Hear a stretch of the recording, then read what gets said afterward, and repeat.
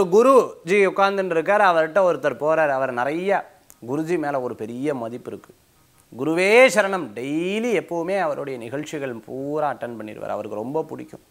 குருவுக்கு ஆசிரமத்தில் எதாவது நடந்ததுன்னா உடனே அவர் வந்து நிறைய விஷயத்தை ஸ்பான்சர்ட் பண்ணுவார். நிறைய நான் என்ன பண்ணணும்னு மட்டும் சொல்லுங்க அப்படின்னு சொல்லிட்டு இருப்பார் அவருக்கு ஒரு மனக்கழக்கம் நேராக குருக்கிட்ட போகிறார் குருவே எல்லாமே என் தலையில் எடுத்து போட்டுக்கிட்ட மாதிரி இருக்குது என்ன பண்ணுறதுன்னு தெரில எல்லாமே என்னுடைய வீட்டில் பார்த்துட்டேன் அப்படின்னு சொன்னால் எங்கிட்டயே எல்லா வேலையும் கொடுக்குறா. ஆஃபீஸில் எல்லா வேலையும் எங்கிட்டயே கொடுக்குறா. எனக்கு என்ன பண்ணுறதுன்னு தெரில மனசில் ரொம்ப கழக்கமாக இருக்குது என்னால் இவ்வளோதான் முடியும் என்னால் முடியல அப்படின்னு சொன்ன உடனே அவர் சொன்னார் நீ முடியும் முடியாதுங்கிறத என்ன நிர்ணயம் பண்ணுற அப்படின்னு கேட்டார். என்ன இப்படி சொல்கிற எனக்கு தானே என்னை பற்றி தெரியும்.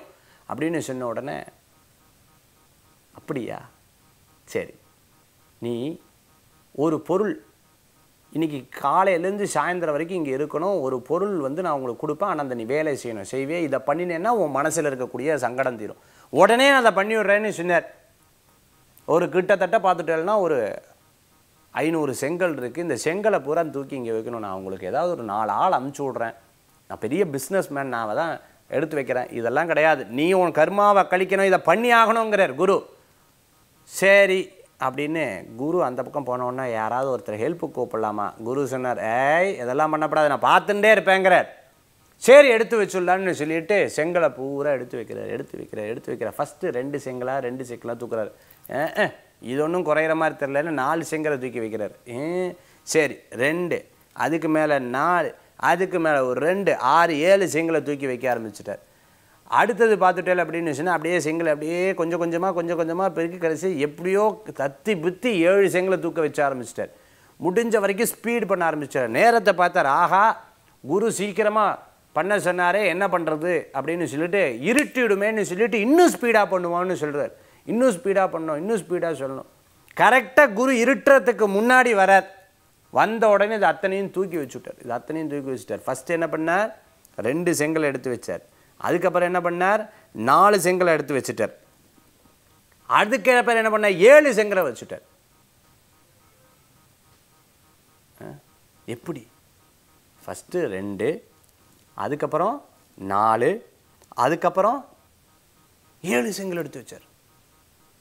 அப்போது ஒரே ஆச்சரியம். வந்தோடனே குருவே நீங்கள் சொன்ன மாதிரி எல்லாத்தையும் எடுத்து வச்சுட்டேன். நான் பாருங்கள் எல்லாம் எல்லாம் எடுத்து வச்சு சிரிக்கிறார் அப்படியே. இப்போ குரு பார்த்தார். பார்த்தியா இங்கே இருக்கிற ஐநூறு செங்கல் நீ ஒட்டு மொத்தமாக தூக்கி வச்சியா? கொஞ்சம் கொஞ்சமாக எடுத்து வச்சேன்னு கேட்டேன்.